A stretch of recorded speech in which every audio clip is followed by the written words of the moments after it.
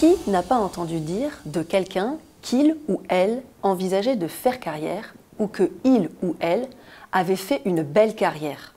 Le terme carrière est souvent associé à l'idée de succès professionnel. Mais que signifie exactement ce terme et de quel succès parle-t-on?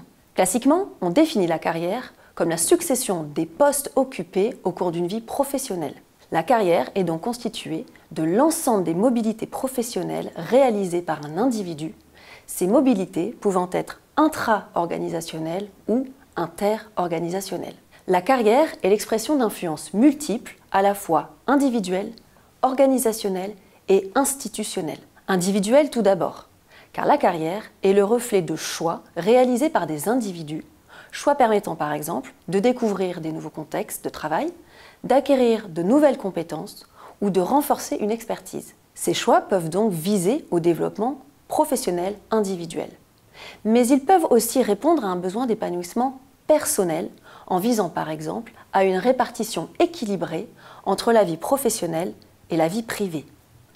Les attentes individuelles peuvent ainsi diverger en fonction des profils de chacun, des traits de personnalité, de l'âge ou des expériences professionnelles. La carrière est aussi un sujet organisationnel.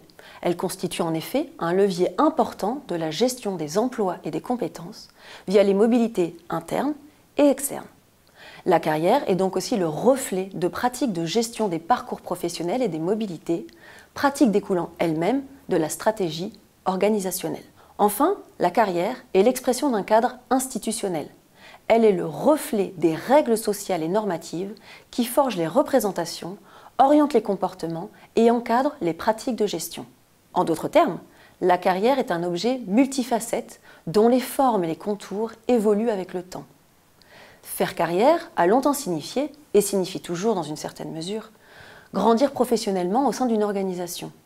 Mais l'évolution des contextes économiques, sociaux et technologiques ont ouvert la voie à d'autres expressions de la carrière plus individuelles. La carrière est en quelque sorte un capteur des évolutions sociétales. C'est ce qui fait qu'elle est un objet à la fois complexe et fascinant à étudier.